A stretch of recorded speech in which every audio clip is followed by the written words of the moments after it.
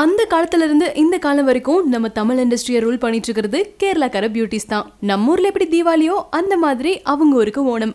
So ரீசெண்டாக வந்த இந்த ஓணம் ஃபெஸ்டிவலில் செலிப்ரிட்டிஸ் எப்படி செலிப்ரேட் பண்ணியிருக்காங்கன்னு தெரியுமா? அக்காவோட கல்யாண செலிப்ரேஷன் ஒரு பக்கம் பைரவா படத்தோட ஷூட்டிங் ஒரு பக்கம்னு எவ்வளோ பிஸியாக இருந்தாலும் கீர்த்தி சுரேஷ் இந்த ஓணம் ஃபெஸ்டிவலை மிஸ் பண்ணல.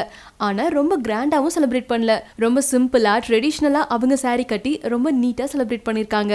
விஜே பாவனா இந்த ஓணத்தை அவங்க பாட்டியோட செலிப்ரேட் பண்ணியிருக்காங்க நம்ம சாய் பல்லவி கேரளாவில் பயங்கர ஃபேமஸ் ஆனதால கேரளா ஃபெஸ்டிவல்ஸையும் ஃபாலோ பண்ண ஆரம்பிச்சிட்டாங்க.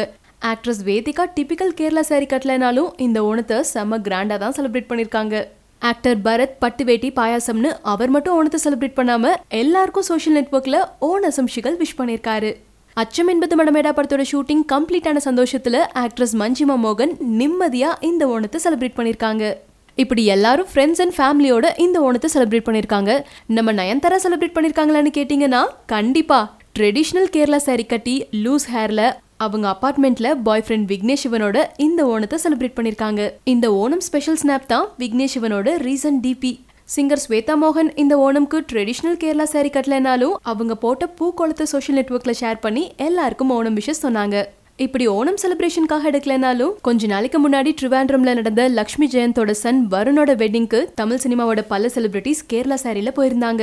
அந்த மாதிரி எயிட்டிஸோட குயின்ஸான ராதிகா சரத்குமார் அமலா தபு லிஸி ஸ்ரீபிரியா இவங்களோட ஆக்ட்ரஸ் ஜோதிகாவும் இந்த ஃபங்க்ஷனை அட்டென்ட் பண்ணியிருந்தாங்க.